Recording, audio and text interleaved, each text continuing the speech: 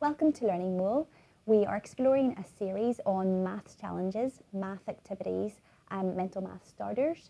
Um, and this activity is really, really focused on maths and movement. It's a really good way just to get some excitement going at the start of that um, math session and really just to get a bit of interaction and enjoyment.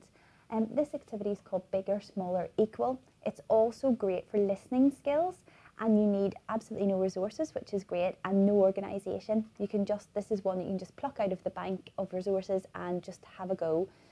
So basically, the rules are you choose a number, so I'm going to choose 10, and you tell the children that if the number is bigger than 10, they have to keep their feet firmly on the ground, but they need to make as big a shape with their bodies as they possibly can. So do give them a little bit of room. You might want them to get to stand behind their chairs so that they're not bumping into each other and they have to make as big as a shape as they can.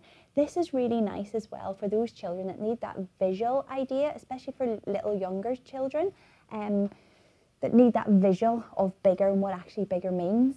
Smaller than 10, they have to crouch down and make the smallest shape they possibly can, which they love the challenge of who can be the smallest. And then equal, they have to stand very still and make an equal sign with their hands, or they can do it like this, or whatever way they want to. And that's essentially it.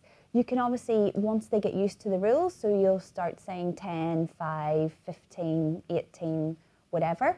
Once they get used to the rules of just moving, then you can start to add actual calculations in. So you can say 2 times 5, and they'll have to do equals.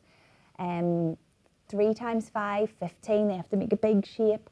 And the possibilities, again, are endless you can really target if you're working in multiplication, you can target multiplication. If you're working with older children, you might want to make those um, calculations a little bit more difficult.